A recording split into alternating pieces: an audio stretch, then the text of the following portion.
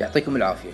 اليوم صورت لكم تمرين الأرجل كامل تقدر تلعبه في اليوم اللي عندك فيه تمرين أرجل.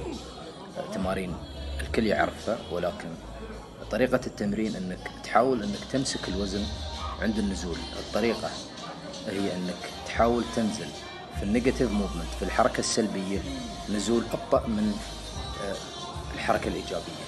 بهاي الطريقة العضلة تاخذ حقها في التمرين وتستفيد بشكل أكبر حتى لو رحت أوزان ثقيلة حاول أنك تركز. وأهم شيء أنك تحاسب على عمرك يوم تلعب وإذا بتلعب ألعاب حرة استخدم حزام الظهر.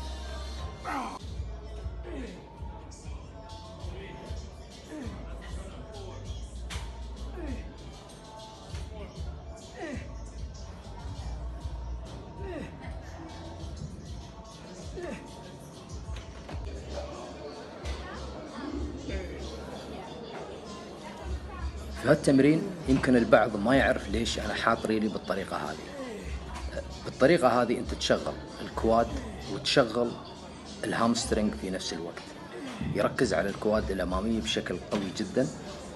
تمرين ممتاز. العبه حتى لو بأوزان خفيفة حتى لو بدون أوزان.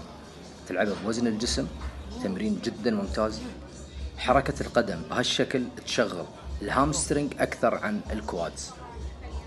تقدر أنك تلعب الجهاز الواحد بأكثر عن طريقه بأكثر عن حركة لاستهداف أكثر عن منطقة في عضلة الأرجل. المهم أنك تشغل مخك في التمرين وتركز أثناء النزول هذا جدا مهم.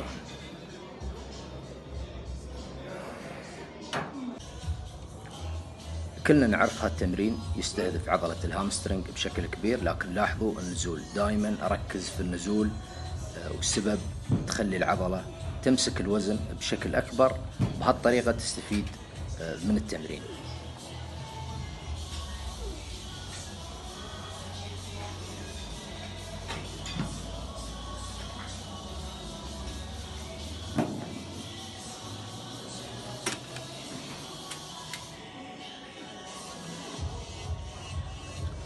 ولو حبيت تصعد التمرين شوي على عمرك انزل بريل وحدة نفس هذا الفيديو. بهالطريقة تستفيد العضلة بشكل أكبر وأهم شيء النزول بطيء.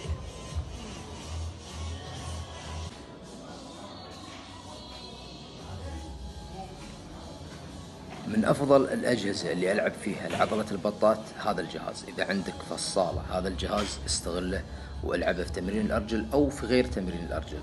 آه، كلنا نعرف أن عضلة البطات من العضلات الضعيفة عند أغلبنا لذلك حاول أنك تركز فيها شوي. وهذا الجهاز واحد من أفضل الأجهزة بالنسبة لي لعضلة البطات.